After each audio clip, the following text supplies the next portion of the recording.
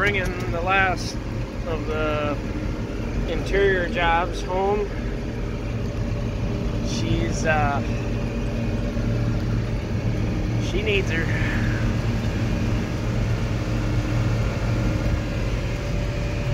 Some of it's not horrible, but some of it is uh, definitely not good either.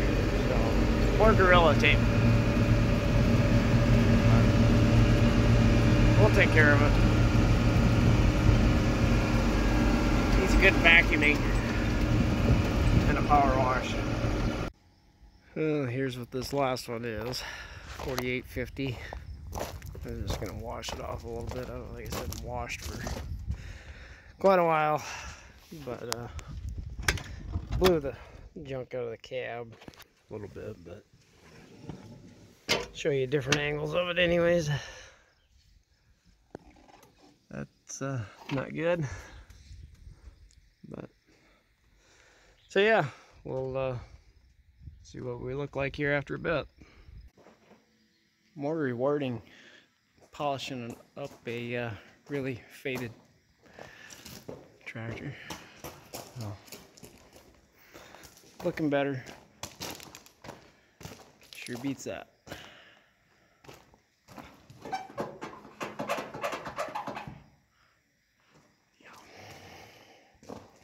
Getting closer. Well, I guess I haven't got any more video, but probably take this thing back to its home tomorrow, so thought I'd do a walk around of it. So, looks a lot better, in my opinion anyways. Yeah, I didn't get the wheels real clean, and I don't like these steps, but...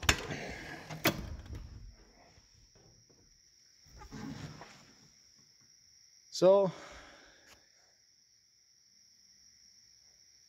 as usual, you put new stuff in, it turned out pretty nice. I don't know, he had that deal over there, and all my tractors, I have them on that side, but when you have the third remote, sometimes it rubs a little bit on that, so. But yeah, got the rest cleaned up nice, and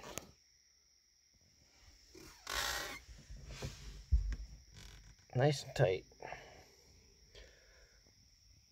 It's always nice when you do everything, so that way everything's kind of all the same. Well, I guess we didn't do didn't do that part, but that that doesn't look too bad, I don't think. So, anyways, hopefully this is the last one for a while. Time to get on to uh, bigger and better things. So who knows what's coming. Got a lot of things coming up in the next couple days. So, see what happens. Catch you later.